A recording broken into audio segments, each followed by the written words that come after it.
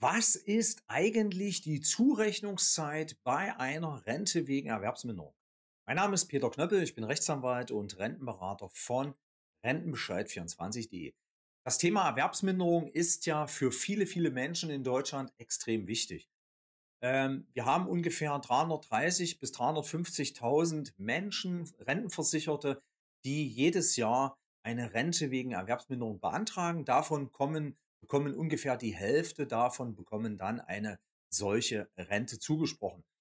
Und in diesem Beitrag geht es mal nicht so sehr um die Frage des Ob, also ob und wie eine solche Rente, ähm, sagen wir mal, zustande kommt, aus medizinischen Gründen und so weiter, sondern es geht auch um die Frage, äh, und die wird Sie vielleicht auch interessieren, ähm, wie hoch eine solche Rente ausfallen kann. Und da spielt die Zurechnungszeit, von der Sie vielleicht schon mal was gehört haben, eine extrem wichtige Rolle. Und genau aus diesem Grund möchte ich Ihnen erklären, was eigentlich die Zurechnungszeit ähm, im Rentenrecht ist, welche Funktionen, welche Wirkung sie vor allen Dingen hat. Und da schauen wir uns einfach mal im Gesetz äh, an.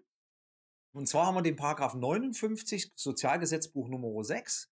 Ja, das ist immer ganz wichtig, dass man da mal kurz reinschaut und da steht was mit Zurechnungszeit. Ja, gucken wir mal hier, Zurechnungszeit.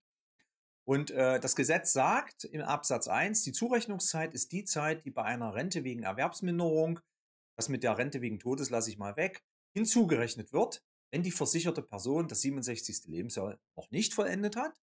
Und ganz wichtig ist, die Zurechnungszeit beginnt bei einer Rente wegen Erwerbsminderung mit dem Eintritt der für hier, der hierfür maßgebenden Erwerbsminderung und sie endet mit Vollendung des 67. Lebensjahres.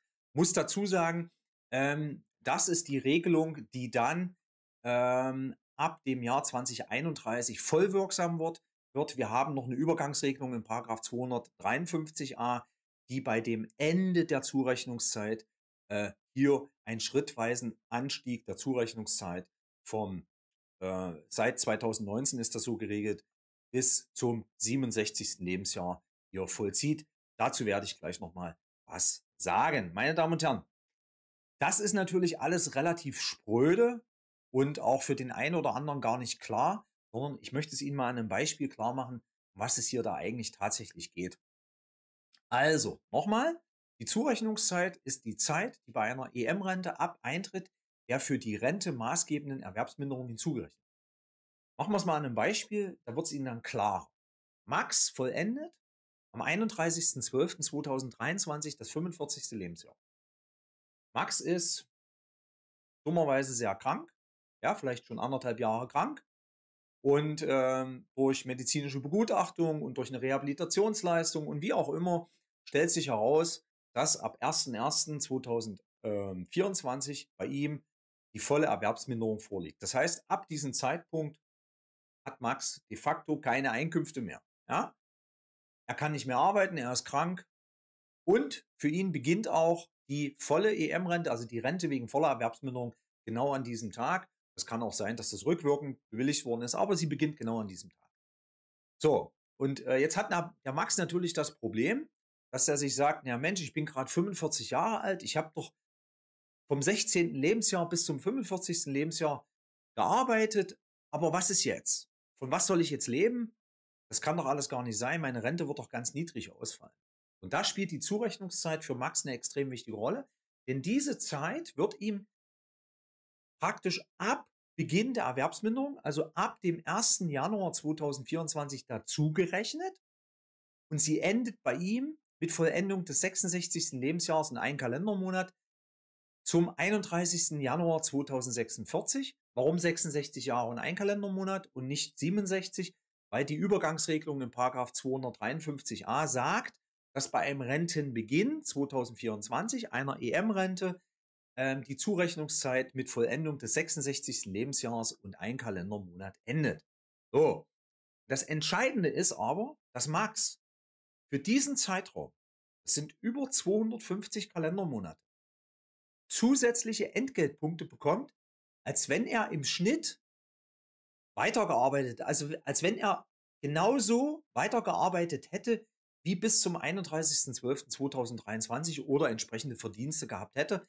Ähm, das Gesetz sagt dann im Grunde genommen, dass die Zurechnungszeit als sogenannte beitragsfreie Zeit, ja, als beitragsfreie Zeit ähm, nach der Gesamtleistungsbewertung mit dem vollen Gesamtleistungswert, ähm, entweder aus der Grundbewertung oder aus der Vergleichsbewertung abgegolten wird. Das heißt also, Max bekommt für diesen Zeitraum pro Kalendermonat einen bestimmten Entgeltpunktewert und das hebt die EM-Rente natürlich rechnerisch deutlich an oder höher an, als wenn Max seine Rente nur mit den Entgeltpunkten berechnet würde, die er bis zum 31.12.2024 äh, nachgewiesen hat. Da würde Max möglicherweise richtig traurig werden.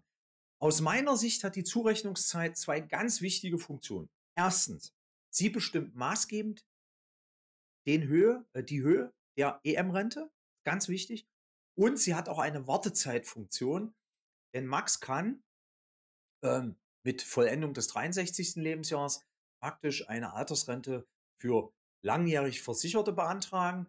Er ist zwar seit dem 01.01.2024 ähm, erwerbsgemindert und bezieht auch diese Erwerbsminderungsrente, aber er bekommt für jeden Kalendermonat des Bezugs dieser EM-Rente eine Anrechnungszeit zuerkannt nach 58 SGB 6 und diese Anrechnungszeit gilt wiederum als Wartezeitmonat für die 35 Jahre Wartezeit.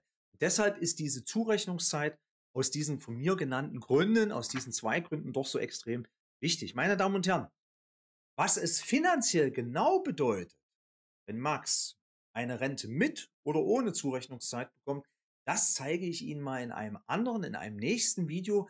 Da werden Sie doch wirklich gespannt sein, was da für Rechenwerte rauskommen. Ab 2019, so kennen wir es ja, hat sich die Zurechnungszeit deutlich verlängert. Damals ähm, bei Beginn einer EM-Rente ab 2019 um über drei Jahre länger als davor.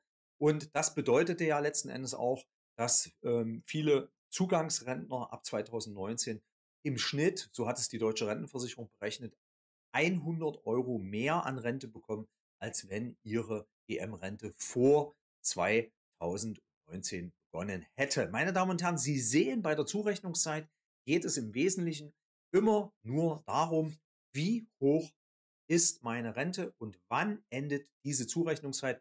Und je mehr Kalendermonate ich da habe, umso höher kann meine Rente ausfallen.